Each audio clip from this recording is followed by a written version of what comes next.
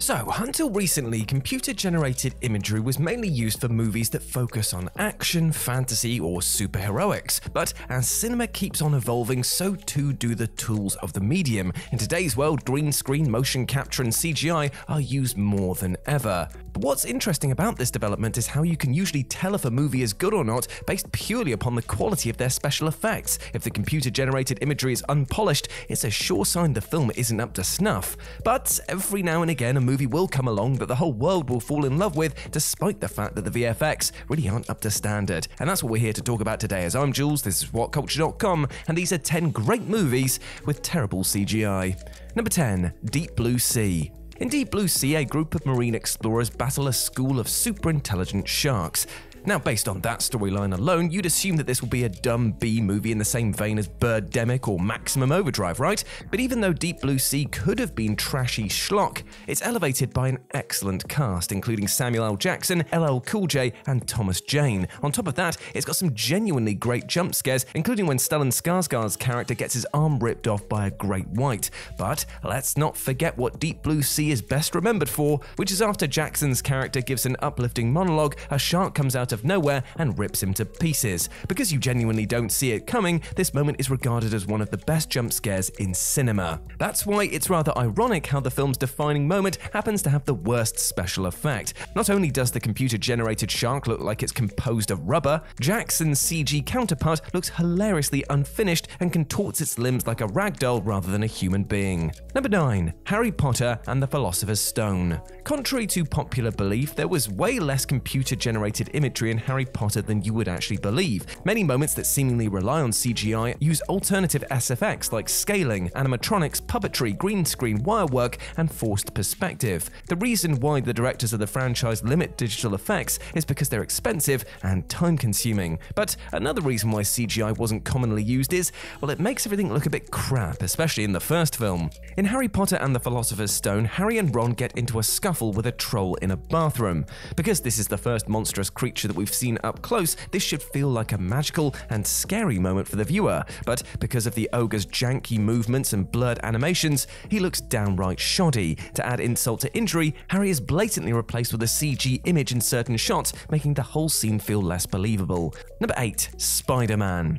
Sam Raimi's Spider Man was the first movie in history to earn $100 million in its opening weekend. Even though the trilogy ended on a bit of a downer, there are legions of fans who preferred this incarnation of Spidey over the MCU version. But the biggest lovers of the first film can't deny the fact that the visual effects are subpar. Ironically, most of the worst CGI moments come from Peter Parker being, you know, Spider Man. When the web slinger leaps from building to building, he looks like a rubber man with Tobey Maguire's face stitched on. When Green Goblin is terrorizing the citizens, his unnatural movements make him resemble a cartoon character. Even though we should be in awe watching the wall crawler soar through the sky, most viewers are wondering why Spider Man looks more like his video game counterpart than the actual video game equivalent. Even though there are a couple of solid shots of the webhead swinging through the city, the bad far outweighs the good. Even though the special effects in the sequel are light years ahead in quality, this just makes the CGI in the first film look more than a little underwhelming. Number 7. Rogue One, a Star Wars story. Now, Star Wars fanatics were so psyched to see Darth Vader in Rogue One that they never considered the possibility that the prequel would contain other iconic figures from the beloved franchise. So when Moff Tarkin revealed himself, viewers were blown away.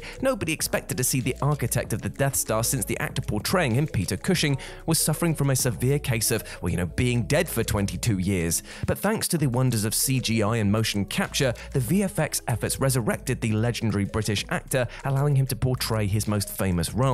But with the benefit of hindsight, it seems that fans originally watched this scene with rose tinted glasses. Viewers got so caught up on seeing the deceased actor on the big screen again that they didn't realize that the special effects, well, they aren't as mesmerizing as they initially thought. Although Tarkin's facial tics and voice is spot on, his mouth, well, it's just weird. Not only does it move unnaturally, his lips don't move in accordance with his voice, making him look like he's being dubbed. Now, you have to commend the visual crew for pushing the effects as far as they could, but the scenes with Tarkin proved that technology, it still isn't quite there yet. Number 6. The Social Network. Nobody exemplifies this philosophy that the best visual effects are the ones we don't notice better than David Fincher, and viewers of The Social Network were baffled when they learned digital trickery was used to make Armie Hammer depict the Winklevoss twins. However, there's one visual in The Social Network that, well, just doesn't work. While Mark Zuckerberg and Eduardo are speaking outside a party, their breath is actually all digital. Although the visual was inserted to illustrate how cold it is, it looks like the pair have freeze breath like Superman or Ice Iceman. What's worse is this visual is completely inconsequential. We can see the characters are shivering so we know it's chilly. Why did the visual team have to force such an unconvincing effect to hammer this fact in? The sad thing is, is that once you notice the CGI breath, it becomes so distracting that you don't even listen to a word that either character is saying. Number 5. The Hobbit Trilogy. Now, The Hobbit did not live up to Peter Jackson's The Lord of the Rings. Nobody is going to deny that, nor did anybody think that it could reasonably happen, but it doesn't change the fact that Jackson crafted a satisfying trilogy in its own right. The action sequences in The Hobbit are innovative, the battle sequences are epic, and the performances are astounding. Even though Lord of the Rings set the bar unnaturally high in terms of special effects, you'd expect The Hobbit's visuals to surpass it, right? I mean, since technology had advanced over 10 years and the prequels had over double the budget of its predecessor, how could The Hobbit's CGI not be out of this world? Well, ironically, the visuals are the trilogy's biggest detriment. Everything looks so artificial that you can practically see the green screen. Instead of using CGI CGI to add to the spectacle, Jackson's crew here relied on the technology like a crutch, swashing every shot with a smorgasbord of cartoonish VFX. This issue is extra noticeable when characters are substituted for CG doppelgangers. Because their bodies just don't move in a natural way, you never believe that they are really there for a second. Number 4. Forrest Gump. For the most part, the special effects in Forrest Gump are absolutely breathtaking. Most viewers didn't have an inkling that the feather in the opening shot was actually computer generated. People People are gobsmacked when they learn that every single ping pong ball that Forrest plays with are digital. The green screen used to depict Lieutenant Dan without legs looks just as good now as it did back then. But there was one special effect that, let's face it, looked bad even when the film was released. Throughout the movie, Forrest rubs shoulders with many famous people throughout history, including John Lennon, John F. Kennedy, and Richard Nixon. Instead of relying on body doubles, the film digitally inserted Tom Hanks's character into archival footage to make it look like he was meeting these historic figures. Although these scenes look convincing at first, the VFX is all over the place when it comes to each character's mouth. If you analyze the lips of Nixon, Johnson, or Kennedy's in these moments, they clearly don't match with what they're saying. And sometimes digital trickery is used to make the lips move in a certain way, which makes it look all the more superficial. Number 3. I Am Legend. I Am Legend takes place in a post apocalyptic world where a retrovirus has either killed humans or turned them into vampiric mutants called the Dark Seekers. The story follows a virologist called Robert Neville who does everything in his power to find a cure for the creatures to save what's left of humanity. Now, it's common knowledge that this adaptation is quite the departure from Richard Matheson's novel of the same name. Nevertheless, the 2007 movie's long shots and slow build up helps to keep the viewer on edge. Unfortunately, all that tension disappears the moment that you see the Darkseekers. Their movements and facial expressions are exaggerated to the point where they feel more at home in a comedy over a sci fi horror. These visual effects are so heinous that viewers couldn't understand why the film crew didn't bring the creatures to life with actors wearing prosthetics instead of CGI. Well, that was apparently the original plan, but during the test screenings, the director worried that the Darkseekers resembled angry mimes, so switched to CGI at the 11th hour. But upon watching the screen test, there's no question the original design of the monsters is vastly superior.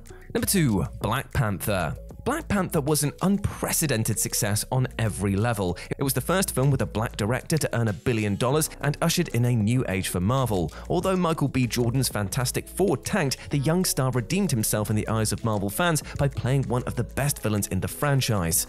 All in all, there is a lot to love about this film, but one thing that stops this film from possibly being seen amongst the MCU greats is the rather atrocious special effects. This is ironic since Marvel has always prided itself with pushing visual technology as far as it can go. After all, it was the first studio that pretty much perfected de aging, but in Black Panther, the VFX are astonishingly shabby, especially in the final battle. Because the visual team only had six weeks to animate the fight with T'Challa and Killmonger, simple things like shadows and textures were compromised. Also, it's nearly impossible to know what's happening since the scene, well, it's really, really dark. And number one, The Irishman. In terms of acting, directing, story structure, and editing, The Irishman is almost perfect. Sadly, the de aging effects used for Robert De Niro, Joe Pesci, and Al Pacino never stop getting in the way of Martin Scorsese's remarkable movie. To make these actors look up to 50 years younger, each of them wore motion capture sensors on their face and body. However, the final results look so awful that you'd swear the characters on screen are pure CG creations. Even when the effects look impressive, the characters just don't move correctly. When we see De Niro's character in his 30s, you just don't buy it because he moves like a man in his 70s. If this special effect was an issue for only one of two scenes, then viewers would be more forgiving. But since the de aging is noticeable throughout the entire 219 minute runtime, it stops The Irishman from being better than it should be. The fact that there are YouTubers and freelance VFX artists who are able to create more convincing de aging effects for these scenes without a $200 million budget does make The Irishman all that more disappointing. And there we go, my friends. Those were 10 great movies with terrible CGI. I hope that you enjoyed that, and please let me know what you thought about it down in the comments section below. As always, I've been Jules, you can go follow me over on Twitter at RetroJ with a zero, or you can swing by Live and Let's Dice, where I do all of my streaming outside of work, and it'd be great to see you over there, my friends. But before I go, I just want to say one thing. Hope you're treating yourself with love and respect, both physically and mentally, because you deserve all of the best things in life, alright? And do not let anything or anyone else tell you otherwise. You are a massive ledge, and I want you to go out there and utterly smash it today. I believe in you. As always, I've been Jules. You have been awesome. Never forget that, and I'll speak to you soon. Bye.